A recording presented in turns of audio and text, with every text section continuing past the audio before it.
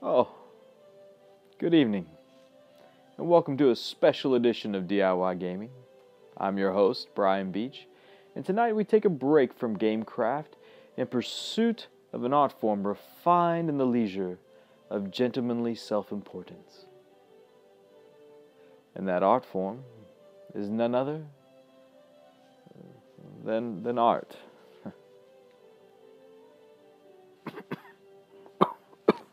As your source for tips and walkthroughs for making your own prototype and playtesting components, I feel it'd be a great disservice if we didn't go over an ever important aspect of game design, and that's the game's artwork. So to do that, we're going to head over to the computer. Now, this hits really close to home since I'm no artist, and I'm not about to shell out a bunch of dough until I'm sure my prototype is ready. So I give you my art hack for the artless. You will need two pieces of software for this technique, your photo editor where you'll design your printed components, and a 3D modeling tool.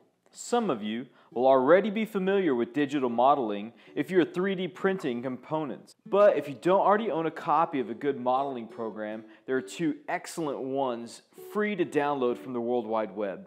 You have Blender, which is very well known, and there's many online tutorials that can be found to navigate this heavier modeling program. But for simplicity's sake, I prefer Anim8or. It requires less experience, but it's still a free and powerful modeler. The reason 3D modeling software works so well is because it handles something that non-artists struggle with, and that's perspective. Now, where I can draw a two-dimensional square on a piece of paper, a 3D modeling program can obtain instant access to the depth of a cube's surface or position one object behind another, all the while maintaining this realistic relationship between the two objects. Secondly, I can stage a scene. Much like moving furniture around in a room, with a swish of a mouse cursor, I can freeze the scene I want for the perfect moment of my component's art. Then we have simple texturing, which just requires a few mouse clicks. The program takes care of the shading, which I don't even begin to understand, and we can even render glass setting some objects behind a transparent surface.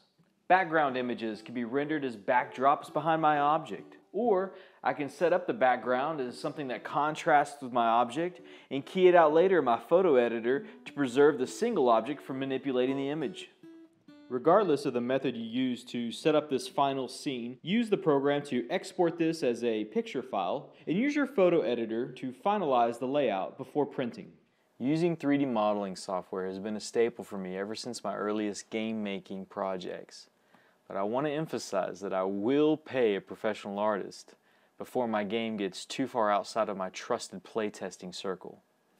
More recently, we've been using this process to take our conceptual art a step further. PubMeeple's resident artist, Shuck, is currently using 3D models to composite artwork for an up-and-coming game that he designed, Space Perimeter. For the rest of us, though, we can use this as concept art, a way of more clearly expressing to the artist what we had in our mind when we designed our game. Good artwork is essential for the escape a game provides. It lures the players into the game and assists them to suspend their disbelief. Now, I think this is even important for you and your playtesters while you're in the fledgling stage of your game development, so don't ignore this important aspect of game design. Well, thanks for joining me tonight for DIY Gaming. There's some exciting things happening in the pub, so make sure you subscribe to this channel and check back with us. And in the meantime, Keep gaming, amigo.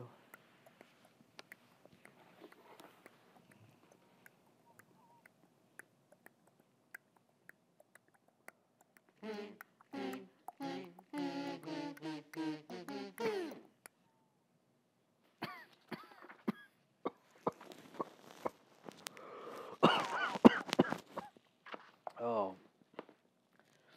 Oh, my wife's gonna kill me. I'm not supposed to smoke in the house.